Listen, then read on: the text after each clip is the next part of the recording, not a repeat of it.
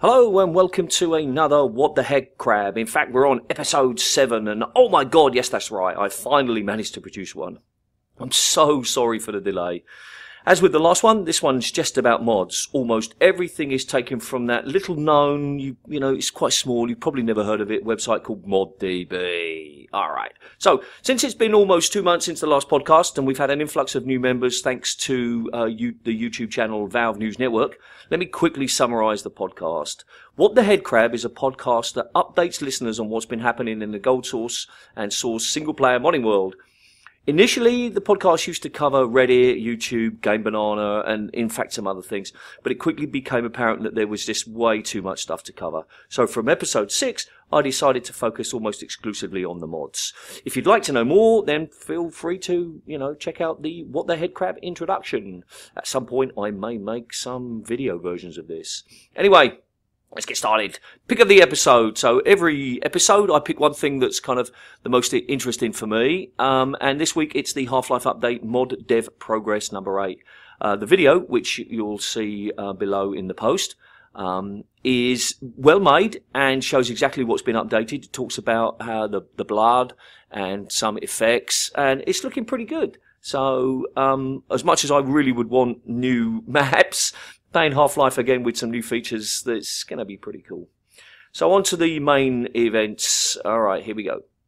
So we've got Grey. Now Grey was uh, originally released in 2007 and it's moved over to the uh, Unreal Engine 4 and I kind of feel cheated to be honest because it's kind of still listed as you know an episode 2 mod but um, I'm sure people who are following uh, this mod will be interested whether it's on source or, or not, but but not for me. Uh, this one talks about uh, weapons updates, and as you can see, some some some quite pretty screenshots.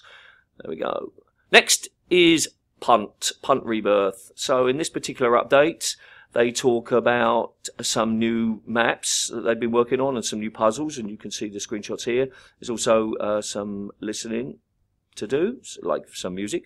Um, to be honest, I'm not really sure why they're not making this in uh, Portal 2, but but then, then there's probably a good reason. But it just seems strange that you're making a game that looks exactly like Portal in well, not exactly, but you know, very similar to Portal in another engine. But anyway, perhaps this is the uh, this is the answer rather than the standard Source SDK. Uh, base 2013 single player map format. That's what they're going to use instead. So maybe that uh, instead of using Portal 2. By using that, it gives them access to more tools or perhaps a wider readership. Anyway, if you're interested in this, and it looks kind of fun, um, if you're a kind of a Portal fan, then give that one a look. Next is Der Schwarze Nebel, which is the Black Fog in German. Now, I've recently installed this on my computer, and it is 22 gigabytes. Yes, let me repeat that in case you were like coughing over your coffee like like you know what I mean. All right, um, it's 22 gigabytes unpacked, and I had to delete almost everything, almost Windows, to get this on. And I've started to play it, and it's very interesting. Um, it, it seems that the mod's been getting a, like, a lot of confusion, and I I'm still confused. They're basically saying that they're not trying to recreate the beta. They're just trying to use the feel of the beta to give you some things to play with. Now, I haven't played that much of it. I'm not sure how much there is to play, to be honest. In you, you might think that with 29 gigabytes, it'd be like a year's worth of gaming, but most of it seems to be graphical, and there is a low definition version available. I don't know how big that is. Probably only, in fact, I just said 29. I should have said 23. It's probably only 10 gigabytes. You know, I mean, 10 gigabytes, nothing. Um, and I haven't had many uh, combat situations yet, but it does look very interesting. And I featured it in a, a previous edition, and I didn't realize, uh, real, excuse me, I didn't know what it was when I uh, added it the first time, but now I do, and it in some places it looks fantastic, as you can sort of see here. So I'll be adding that to the site soon. This post is telling you that it's not trying to create the original story, no, it's just trying to get the feel for it, but I'm still not, you know, completely unconfused, as it were. All right, next one is Dead Sector. Now, this is a remod. Now, Zeke Shadow has been doing this, and I have to say that I haven't really been following what um, he or she has been doing. Sorry, I don't know if you're a man or woman.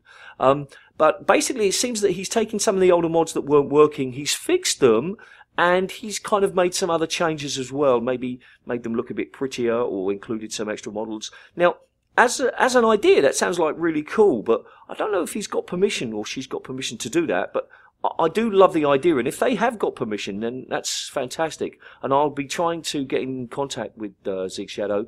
I mean, he he frequents he or she. I'm sorry, he or she frequents the site, uh, Run Think Shoot Live.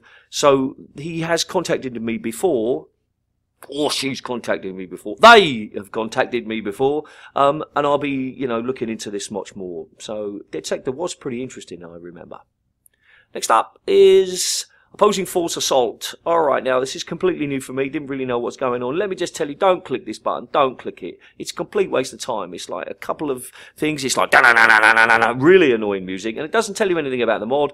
It's just supposed to be a trailer, which is fair enough, but it doesn't tell you anything about the mod. Doesn't get me excited. There's a 1.4 version released, but it's called an alpha. Now, if it's an alpha, then it should be less than one, but whatever. I'm just being pedantic. Um, I'm always interested in opposing force stuff because I did love opposing force as much as I loved Half Life. And if you didn't, then you're wrong. But um, keep an eye out for this one. It's it looks like it's going to be quite fun. In fact, I probably should start tracking that. There we go.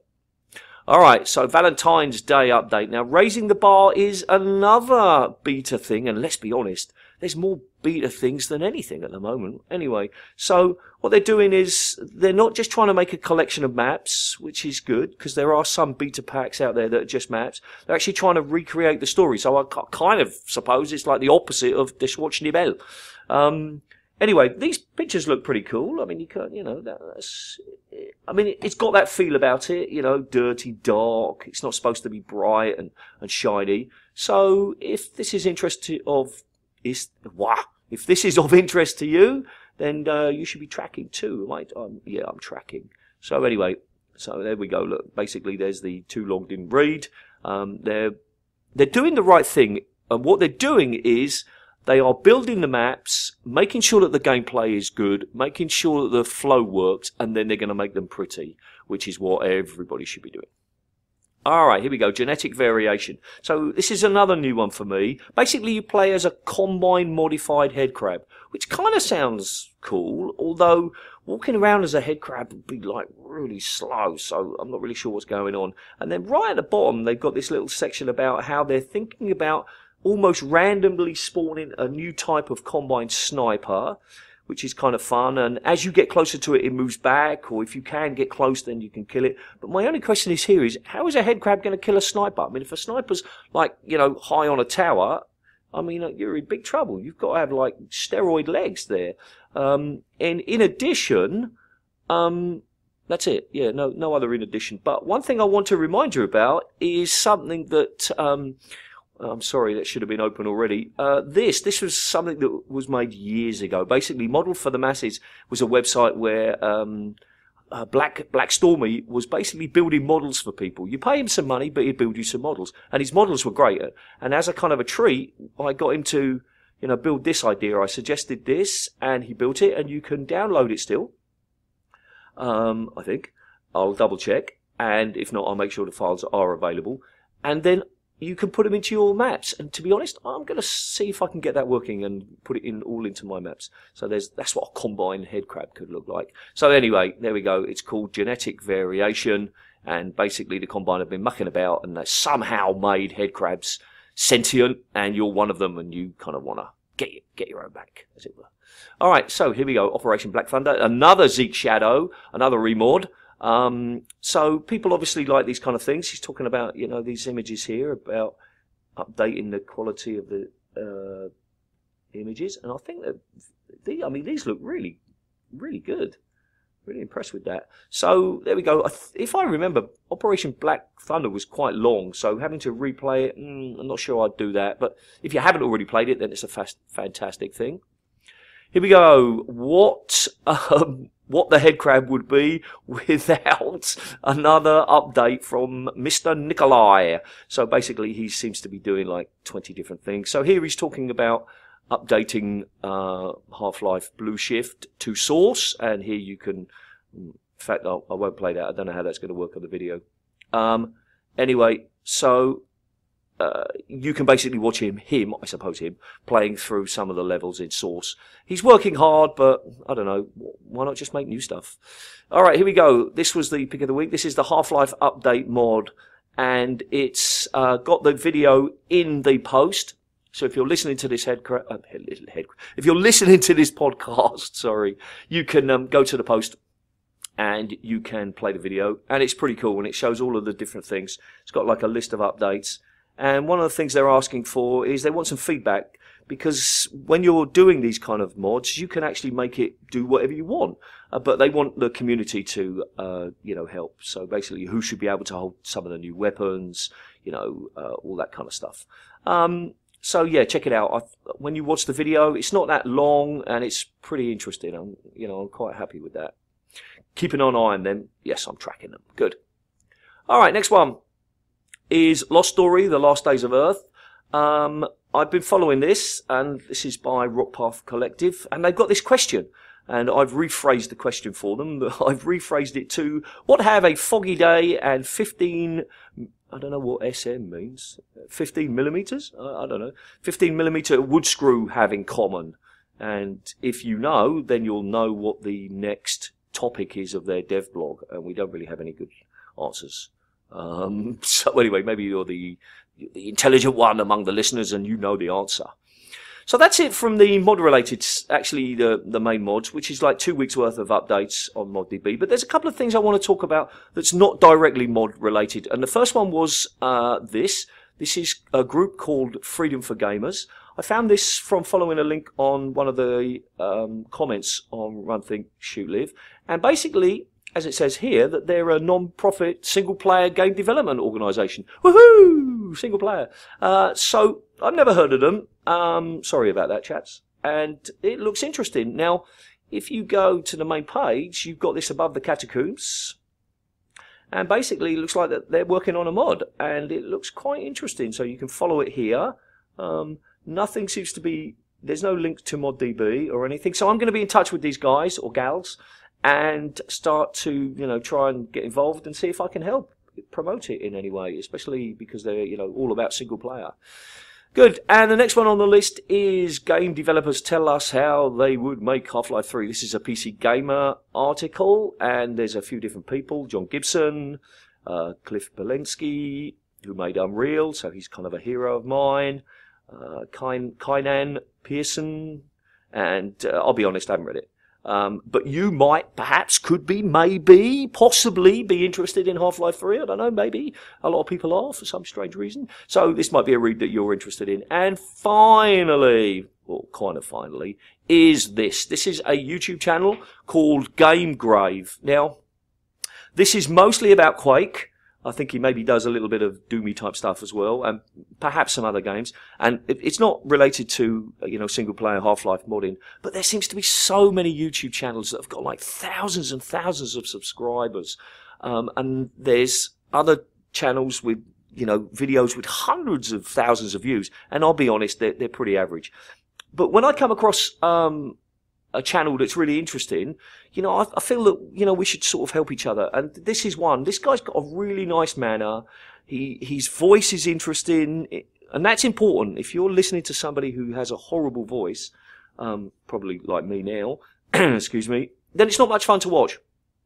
But he's got an, a nice voice. He's got some interesting com, uh, commentary. His videos don't have as many plays as they should. I mean, look at this, 33. You, I haven't seen this particular one, but I've watched a few others, and they deserve much more coverage. So, you know, uh, if you're interested in other channels, go check this guy out because he seems to have some really good stuff, and he's well organised, and you know, he deserves more coverage for sure. Uh, so that's pretty much it, except to say that if there are other Half-Life related YouTube channels that you know about, sorry about that extra capital, I'll change that, um, then please tell me, because I'd like to work more with some of these YouTubers um, and promote little known channels and maybe get more people streaming on my uh, my Twitch channel as well. So if you know anybody, please uh, let me know. But uh, in this case specifically, Half-Life people. And then finally, finally, have I missed anything? Basically, when I do the uh, initial search for all of the news, what I do is I go to ModDB and I just scroll through the articles and I look for the Half Life or the um, source icon. But I know that some mods have got their own icons and that I might miss one, and, and I don't really want to, to miss anything. So if you know of any mods that I'm not talking about on What the Head Crab, please let me know and I'll start to follow them. Um, because that's really quite important. And hopefully, from this point forward, I'll be back into my every two weeks schedule um, because Christmas and January was just like a disaster for me.